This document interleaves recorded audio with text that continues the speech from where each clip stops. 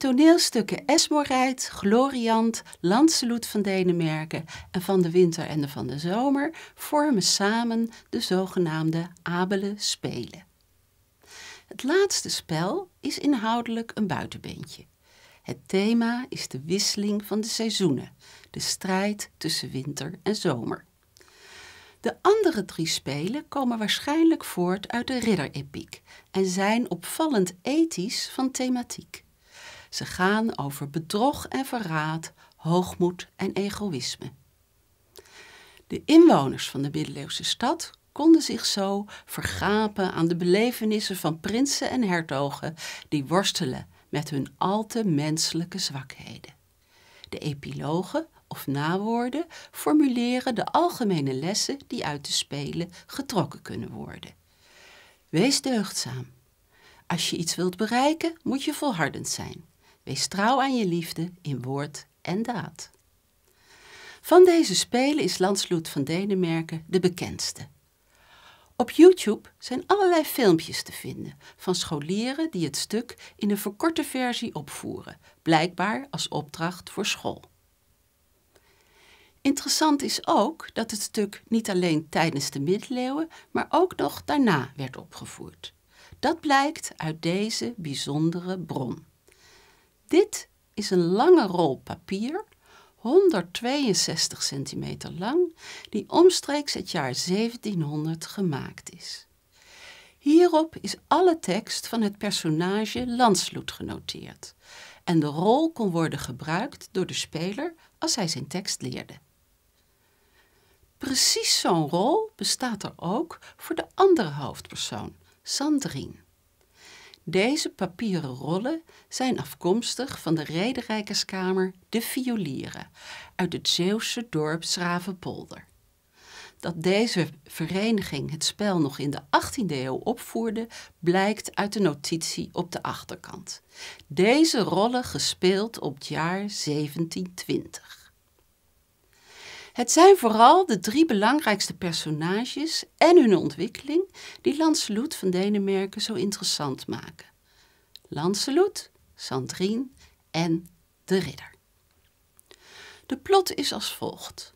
Lancelot, een ridder van hoge geboorte, is verliefd op Sandrine, het dienstmeisje van zijn moeder. Ook zij voelt sympathie voor hem maar ze is van een lagere stand en minder rijke familie. En om die reden belemmert Lancelots moeder een huwelijk. Zijn moeder zorgt er dan met een list voor dat Sandrine een nacht met Lancelot doorbrengt, maar ook dat hij haar daarna verstoot. Wanhopig reist Sandrine naar een ander land, waar zij een andere ridder ontmoet die wel met haar wil trouwen. Als Landsloot ondertussen spijt krijgt van zijn vreselijke daad, probeert hij Sandrine terug te krijgen. Maar tevergeefs. Sandrine is gelukkig getrouwd met haar ridder en weigert terug te keren. En als de bode dat bericht aan Landsloot overbrengt, sterft deze van liefdesverdriet en spijt. Al in het begin van het stuk wordt Lancelot afgebeeld als een zeurkous en een zwakkeling. Hij probeert Sandrine met woorden te verleiden. Eerst dreigt hij dat hij zal sterven van verdriet als hij haar niet kan bezitten. O, Sandrine, wel schone wief, en mag ik u niet geweldig zien, dat zal mij kosten het leven min, en eeuwelijk ben ik verloren. In vertaling, o Sandrine, prachtige vrouw, als ik u niet kan bezitten, dan zal me dat mijn leven kosten en ben ik voor eeuwig verloren. Als Sandrine daar niet op ingaat, belooft hij haar vervolgens in vage bewoordingen zijn trouw en een juweel. Gie mocht nog werden wel mijn vrouwen, ziet miens genadigd en blieft getrouwen, en de komt met mij in dit kasteel, ik zal u geven een juweel. Dus in vertaling, ge zou nog wel mijn vrouw kunnen worden, Wees welwillend voor me en blijf trouw en kom met mij in dit kasteel. Ik zal u een juweel geven. En tenslotte probeert hij haar een mooie tuin in te lokken. En zal u miens ontfermen niet dat ik troost van u mocht ontvaan?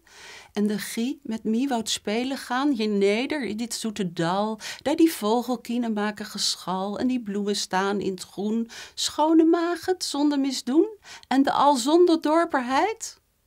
Dus in vertaling, en heeft u dan geen meelij met me, zodat ik troost van u krijg en u met me wil gaan spelen, hier in het groene dal, waar de vogeltjes zingen en de bloemen bloeien in het groen, mooi meisje, zonder iets verkeerd te doen en zonder enige lompheid? Maar hoe hij ook aandringt, Sandrine weigert telkens even vriendelijk als vastberaden. En gelijk heeft ze. Want Landsloot reageert niet op haar belangrijkste punt, namelijk dat zij geen seks met hem wil, omdat ze nooit met hem zou kunnen trouwen. En ze zullen nooit trouwen, omdat het verschil in stand dat belet. Al eest dat ik u gerne mag zien, ik en ben niet uws gelieke. Gie ziet me te mechtig en de te rieke edelridder te ziene uw wief. In vertaling, ook al zie ik u graag, ik ben uw gelijke niet. U bent voor mij te machtig en te rijk, edele ridder, dat ik ooit uw vrouw zou kunnen worden. De moeder maakt Sandrine vervolgens wijs dat Landsloot doodziek is en draagt haar op hem te bezoeken, met voor haar fatale gevolgen. Wat er in Landsloos kamer gebeurd is, komt het publiek te weten in de lange monoloog die Sandrine de volgende morgen uitspreekt. Ze beseft dat ze in de val gelokt is. Nu is toch gebeurd wat ze had willen voorkomen. Ze is haar maagdelijkheid kwijt en dat expliciet tegen haar zin. Ik heb het zonder dank gedaan. Maar nog het meest gekwetst is zij door zijn gedrag na de eigenlijke verkrachting. Nochtan deert me bovenal die woorden die hij sprak, die ridder Vrie, en de keerde zien aanschien omme van mij al had ik geweest een stinkende hond. Toch waren voor mij het meest pijnlijk de woorden die hij zei, de hooggeboren ridder, en dat hij zijn gezicht van me wegdraaide, alsof ik een stinkende hond was. Zijn woorden waren op zich al krenkend genoeg, maar doordat hij haar ook verstoot, wordt haar lot bezegeld. Nu zij haar eer kwijt is, is haar toekomst vernietigd en daarom vlucht ze weg. Plotseling verandert de toon en de sfeer van het stuk volkomen, doordat een nieuw personage de speelvloer betreedt. Een ridder, die al dagenlang op jacht is zonder iets te vangen, op zijn jachthoorn blaast en dan plotseling Sandrine ziet. Hij beschouwt haar letterlijk als jachtbuit. Ik wane nooit man op gene dag al zo schone wild en zag als ginder staat. In vertaling, volgens mij heeft geen enkele man ooit zo'n mooi stuk wild gezien als daar ginder staat. Opmerkelijk zijn ook de eerste woorden die hij tot haar richt. O schone maagd, nu staat al stille, gie moet min gevangen zien. Ik heb u liever dan een everzwien, al waard van fine gouden gewracht. O mooie jonkvrouw, sta eens stil, u moet mijn gevangene zijn. Ik heb u liever dan een everzwijn, ook al was dat gemaakt van zuiver goud.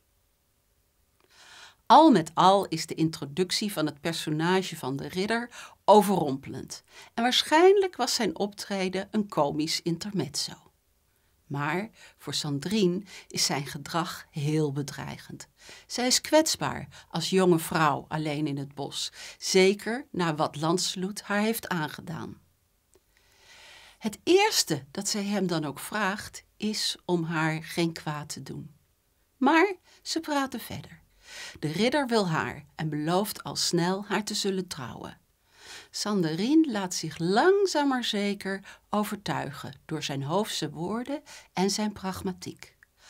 Als ze voorzichtig vertelt dat ze geen maagd meer is, reageert hij vol begrip en staat niets een huwelijk meer in de weg. En zo komt het goed met Sandrine. Als de bode van Landsloot haar komt zoeken, overweegt ze geen moment om mee terug te gaan, want ze is gelukkig met haar ridder. Zo bewerkstelligen de twee mannelijke tegenspelers elk hun eigen lot. De aarzelende, zwakke Lancelot vernietigt Sandriens eer en zijn eigen leven. De iets wat vreemde, maar pragmatische ridder handelt adequaat als hij de kans van zijn leven krijgt. En tussen hen in vinden we de hoofdpersoon van het stuk, Sandrine. Verstandig, vriendelijk en vernederd, maar uiteindelijk gelukkig getrouwd.